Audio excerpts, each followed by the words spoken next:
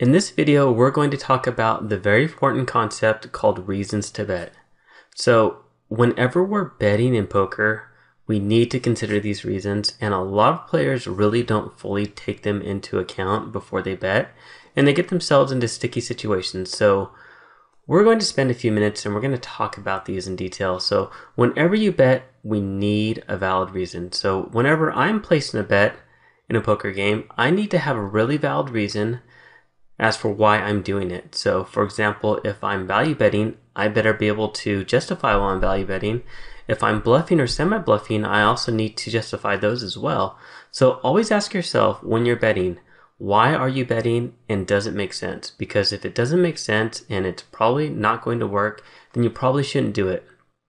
And in poker, there's really only three main reasons to bet, and there's actually only two, and the third one is actually a subset of them.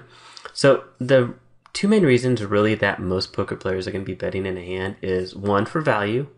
When they have a strong hand or they think they have the best hand definitely betting out for value because we think we can get called by worse. Or the second one is just purely bluffing thinking we can get a better hand to fold for some reason or another. And then the last one which is a subset of bluffing is the concept of getting your villain to fold their equity share. And this will make more sense when we talk about it in the next slide so let's go ahead and talk about these and we'll talk about them in a little bit more detail. So let's talk about betting for value.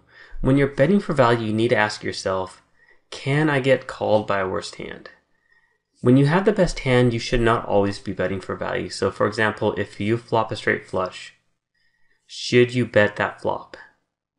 Probably not because your opponent may not be able to call you and you just have the board crushed, it's probably better to check the flop and try to induce a bluff on the turn or hope for that they catch up on the turn. Another example is say if you have pocket kings and the board comes king deuce 9 rainbow board, three different suits. So you flop top set. Should you go ahead and throw out a value bet as a continuation on the flop? Probably not because the board is very dry and again, it's hard for your opponent to really call you. But then, for example, let's switch it up. What if you flop the nut straight, but there's two hearts on the board for the flush draw? And it's likely your opponent could have one of those cards, two of the cards on the board, for pair, two pair, or they could have a pair with a straight draw or a pair with a flush draw. Should you bet? Most definitely, because it's easy for you to get called by worse. So when we have a really strong hand, we need to consider what our opponents can have based upon the board texture and based upon their most likely holdings. So that's what you need to ask yourself when you're betting for value. And one of the mistakes that a lot of players make at the micro stakes is that they don't really consider this and they're not value betting when they should. And on the flip side, when they have the board crushed and it's hard for their opponents to really have anything, they're value betting too much. And when we play at the micro stakes, a lot of our money comes from betting for value. I mean, that's probably about, I would say for me, there's probably around 85 to 90% of my profits come from betting for value because I am feeding on the prey, which are the bad players. And that's where my money is coming from. I don't need to bluff that often. Really, I just sit back, I wait for the good hands, and when I get them, I go for maximum value when I know I can get value. So now that we've talked about going for value, let's talk about the concept of bluffing. And that's our second ball down here, getting better hands to fold.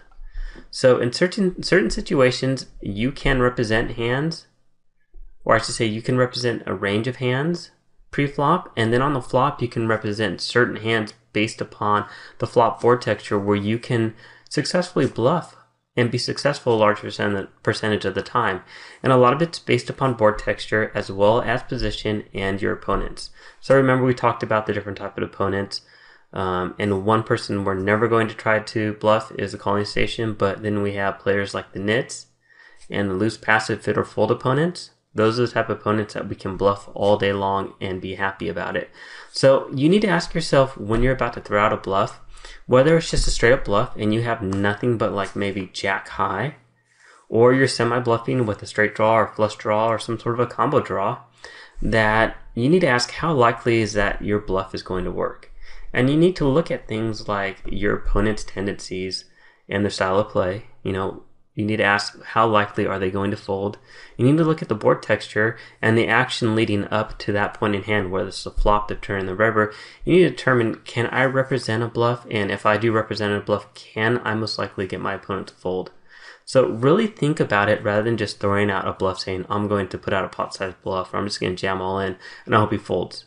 Um, you're not really thinking about why you're bluffing and if it's likely to work or not. So really think about all those different concepts and all those different reasons in regards to how likely it is that you're going to get your opponent to fold before you throw out a bluff. So that's the concept of bluffing, getting better hands to fold. Now the third one is a subset of getting better hands to fold. It is getting villains to fold their equity share. So you may have the best hand, well, you may not have the best hand, but you could very likely have the best hand.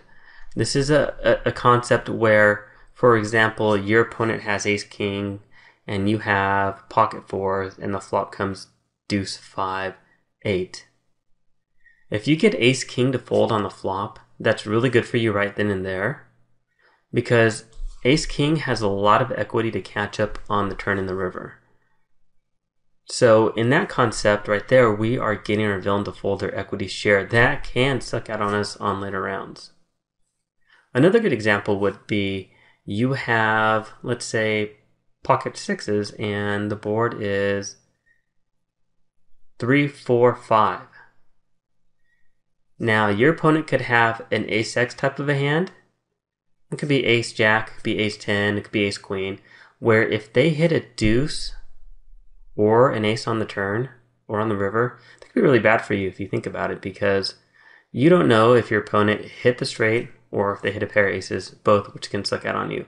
So your goal when you're in these types of situations, you should be able to ask yourself, if I throw out a semi bluff or if I throw out a very thin value bet with the best hand, for example, if they throw out a C bet and you raise, how likely do you think they're going to fold?